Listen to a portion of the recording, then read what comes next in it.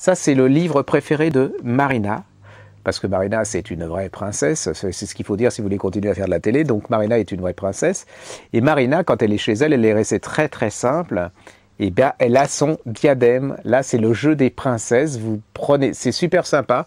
Euh, c'est tout ce que font les princesses. Elles font toujours ça, les vraies princesses. Alors vous avez un livre, vous avez un jeu, celui qui gagne un jeu de cartes, une couronne, une couronne. Donc celle qui a gagné, elle a la couronne. Et Marina, c'est toujours elle qui gagne la couronne parce que Marina, elle triche toujours. Elle est comme sa maman à l'Académie française. Elle est arrivée la première parce qu'elle a triché. Et bien voilà, c'est j'ai adoré.